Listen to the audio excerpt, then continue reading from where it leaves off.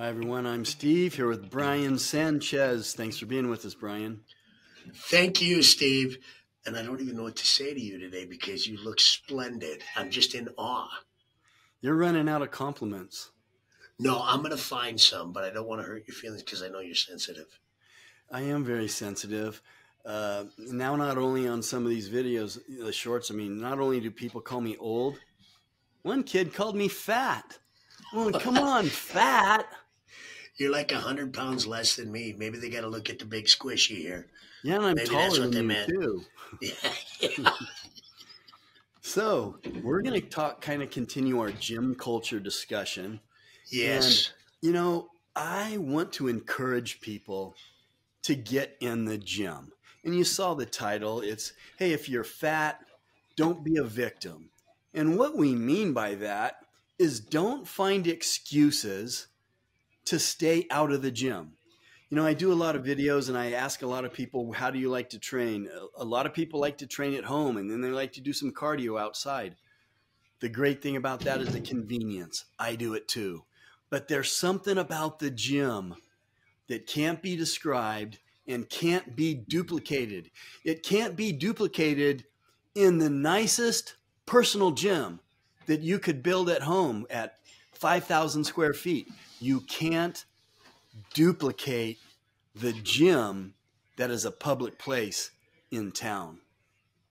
You know, I think I think even more to it and I agree. I've had all my own stuff. I've, I've, you know, for necessity back in the day, I had everything I have here basically. Not all the small stuff, but in general, uh, you know, and created my own home gym system. And I understand why we do that. But at the same time, you know, what we're talking about too might be more in tune with, you know, pitfalls to personal success. You know, why, why do we have such a, tough time with our own image. You know, why do we lack motivation? Why do we not take ownership over who we are and what we are? And I think when we're in these situations with our clients, and we're trying to get them in here and get started. Or, uh, you know, a lot of the guys that I work with in my little side gig, you know, when we talk about, you know, hey, get in there and just start. What I'm finding out in in in these discussions is is a lot of the people truly do have problems with their own personal image of who they see themselves as and it's a barrier to that success. It has nothing to really do with whether or not they're fat or skinny. Look i'm a heavy set guy. It doesn't stop me from coming in here. You know does that define me as an egomaniac? Because i don't think what anybody says has an issue. No i value what other people say but I'm not going to place a burden that somebody else might be looking at me as a barrier to where I need to be next year. You know, I can take my own personal journey. Steve, you and I have talked about this. I can take my own personal journey over the last the last year. You know, you know, I'm kind of trying to, to trim down in in in my stature and not be the crazy powerlifting guy anymore. Um, it's nobody's fault I got to the size I was it's my responsibility to control that and move it. And there's for a lot of people, the way they look, you know, you don't know what their health is.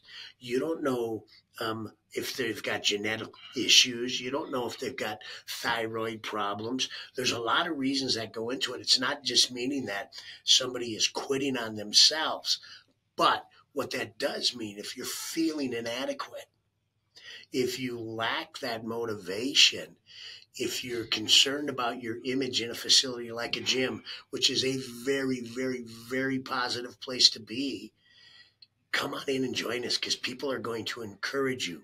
People are going to cheer you on. Your coaching staff and your personal trainers, your gym staff, your business owners like Steve, you and the ownership group, everybody will applaud those who are trying to make a better day and a better tomorrow for themselves. We're not going to slow you down. We're going to push you forward. But I think there's some key things you have to do. You have to define why you're going to be there. And when you define that, you know, when I look at why do I want to be healthy? Look, I want to have another day on, uh, with my wife. I want to have another day with my children. I want to have another day with my grandkids. I want to be available. I want to have another day with my clients. It's more than just me and how I feel about myself. I want to join them in their adventures. I try to define something that's bigger than me and greater than me so that I can move forward to it. You know, I want to make sure that I'm motivated. There's days that that we can all lack motivation. Well, how do you redefine it? Get into these groups, get into these spin classes, get into these group fitness classes where you have these positive people in there trying to motivate. You get into one of our guys, Josh Rogers group or, or, or other Brian, um, you get into their groups and these people are so positive. When you're in that group with these people, there is no way you're going to come out feeling like you're less than somebody special you will feel special. You will feel accepted. You, will feel a part of the team. Your coaching staff's going to make you feel that way. But I want you to, you know, self reflect too. If you're that person that's out there feeling like, oh, I'm too heavy to go in, or I'm too skinny and I want to bulk up, and people are going to look at my my legs, you know, take ownership for where you are. That doesn't mean a bad thing when we say take ownership for it. Understand, seek the understanding of who you are and what you are, and let's help you reshape that and redefine that. Let's get rid of our old habits and let's let them go. Forgive yourself for what you did yesterday. Don't keep taking that burden back. Get it off your soul and get back into the game and let us help you get there. Because I agree with you when we look at all these things, Steve, just because you might be overweight or you feel ultra skinny, there shouldn't be something that stops you from coming and joining our team. And I can assure you, at Fitness for 10 and the Parkway Athletic Club, we will do nothing but support you regardless of who you are, what you look at, what you look like, or why you're there. We are going to find a way to help you meet success. You know, and I also, Brian, I think most gyms are like that, not just ours. I think most of them are like that. They're so positive. And, you know, um, for instance, I've only laughed at Brian in the gym maybe five or six times, and I've only pointed, I've only pointed like twice. Now, before y'all get mad at me and call me a jerk, I'm just kidding, okay?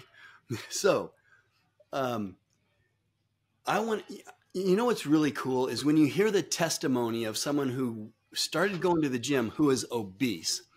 And you and I've heard this over and over and over. You can ask them, "How did you feel at first? And they're like, "Well, I was kind of scared. I mean, I, I didn't know what to expect. I thought, I, I I thought everyone was looking at me. And you know what? I've said this before. Maybe they are looking at you a little bit but they're i'm i'm telling you 9 out of 10 people are looking at you with admiration. They really are. And 9 out of 10 people want to go up to you and say way to go. I am so glad you're in here. Don't give up. If there's anything i can do to help you let me know. That's what people are thinking even if they don't say it. And a lot of people don't have the guts to go up to someone who's obese and say that to them but that doesn't mean they don't want to say it because they do. It's such a positive place and it's such a cool place to be. You know, I was in our Sparks Club last week and I was just, it's like it feels really good in here. And that club has mostly serious lifters. You know, there, there's not a lot of beginner lifters. They're all ages, you know, from 18 to 80 but even if they're 74 years old, they're more on the serious type of lifting side. But people are laughing and smiling, and it feels good in the gym. It, it, at least in ours, and I think it does in most gyms. So I want to encourage people to get in there. And if you're overweight, especially if you're really overweight, you will be surprised at the reception that you get. And yes, it might feel like people are looking at you, but it's not in a negative way. It's in ad, it's in, in an admirational way that people are looking at you and inside they're cheering you on and they want to see you next time. That's why you will get some people say, "Hey, don't give up, man. I hope I see you tomorrow." Or I hope I see you next week. You will get that because people love that story and it just you know, I like I said when I just started talking, it it you hear so many people that are overweight, what their expectations were not what the reality was, and I think that's really cool. Well, you know, Steve, if you're the person out there and, and we do send you this message and you are worried, you are concerned, you can't find the way to make this move for yourself, put it in the comments get a hold of Steve, get a hold of me. We will help you find a place. We will help you find a home where you feel accepted. And if you're in our region and in our area, you know, in the Carson City, Reno Sparks area, hey, come on down.